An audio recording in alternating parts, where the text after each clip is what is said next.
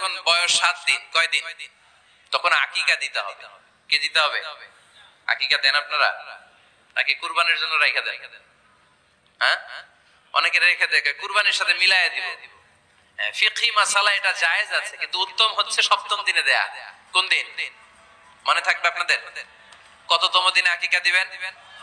সবাই বলতে হবে কততম? কুল্লু গোলাম।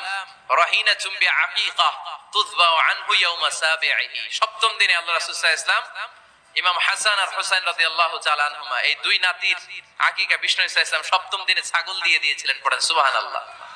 আনিল গোলামি ওয়া আনিল জারিয়াতি ছেলে হলে দুইটা ছাগল। ছেলে হলে কয় ছাগল? মেয়ে হলে কয় ছাগল? দিতে রাজি আছেন তো? দিয়ে দিবেন আকিকা দেওয়ার পরে সুন্দর নাম রাখবেন। যেদিন আকিকা ওই দিন নাম। ইউদাউনা ইয়া- ইয়াউমাল কিয়ামাতি বিআসমাইকুম ওয়া আসমাই আবাইকুম কিয়ামতের দিন আল্লাহ তাআলা তোমাদের নাম ধরে তোমাদের বাবার নাম ধরে ডাকবে। আল্লাহ বলবে, মিজানুর রহমান ইবনে আলী আহমদ ইবনে জাইনুল আবিদিন, দাঁড়াও। দাঁড়াও, বাবার নাম, দাদার নাম বলে বলে আল্লাহ ডাকবে। দাঁড়াও। এজন্য ফাহসিনু আসমাকুম তোমাদের নামগুলো সুন্দর সুন্দর রাখো এখন যারা নাম রাখছে, বল্টু, আল্লাহ দিন বলবে, বল্টু ইবনে সল্টু, দাঁড়াও। ঠিক কি না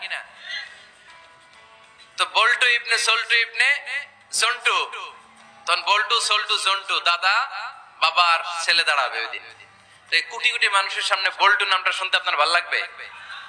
আল্লাহর হাবিব সাহ ইসলাম বলেছেন আহাবুল আসমাইল আল্লাহ আব্দুল্লাহ আব্দুর রহমান। আল্লাহর কাছে সবচাইতে প্রিয় নাম হচ্ছে আব্দুল্লাহ এবং আব্দুর রহমান।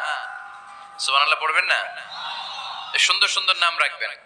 নামগুলো সুন্দর রাখার চেষ্টা করবেন। লিকুল্লি ইসমিন আজার প্রতিটা নামের একটা প্রভাব আছে। আপনি জল্টু রাখলে ওটা জল্টুর মতোই হবে। আপনি সল্টু রাখলে সল্টুই হবে। আর আপনি যদি রাখেন খালিদ বিন ওয়ালিদ, এটা খালিদ বিন ওয়ালিদের মতো বাঘের বাচ্চা হবে। এজন্য নামের প্রভাব আছে। নামের impact and influence in your life এটা অনেক বেশি। সুন্দর সুন্দর নাম রাখবেন। সপ্তম দিনে সর্বশেষ কাজ হচ্ছে বাচ্চার মাথার চুল হালাক করে দিবেন। শেফ।